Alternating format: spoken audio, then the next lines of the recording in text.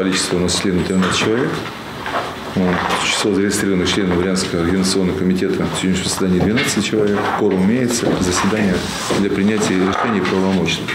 Предлагаю заседание Брянского инвестиционного комитета считать открытым. Выборы разного уровня в Брянской области пройдут в единый день голосования 8 сентября. А пока стоит задача зарегистрировать тех, кто будет участвовать в предварительном голосовании. Члены Организационного комитета единогласно проголосовали за регистрацию пяти участников предварительного голосования в Брянскую областную думу и шести в городской совет народных депутатов. Предварительное голосование для кандидатов – это возможность баллотироваться на выборы от партии «Единая Россия». России. Для них предварительное голосование – обязательная процедура. Как и прежде, принять участие могут все желающие, вне зависимости от текущего статуса и даже наличия политического опыта, за исключением представителей других партий. Прием заявок на участие в предварительном голосовании «Единой России» продлится до 25 апреля. Само голосование будет проходить с 20 по 26 мая в режиме онлайн. Дмитрий Белов, Сергей Дюков, Брянск.